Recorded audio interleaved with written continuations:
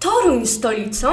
Właśnie dzielnie. Musimy obronić nasze młode państwo. Bez tego nigdy nie przywrócimy wolnej Polski. Polaków jest o połowę mniej. Jeśli dzisiaj zwyciężymy, to jutro Warszawa będzie nasza. Na początku XIX wieku w Europie i na ziemiach polskich trwają wojny napoleońskie.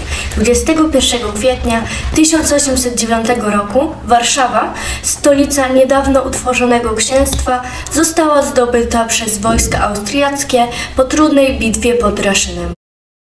Quelle nouvelle apportez-vous, messieurs les ministres Stolica naszego księstwa zupełnie stracona. Mój rząd i wojsko zdążyło się wycofać z Warszawy na północny zachód. Szykujemy się do obrony w Toruniu.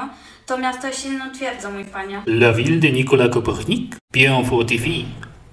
Je suis d'accord. Przez około trzy tygodnie rząd księstwa kierował obroną państwa z Torunia. Toruń tylko raz w swojej historii miał szansę zostać stolicą państwa, a wypełnił to rolę wzorowo.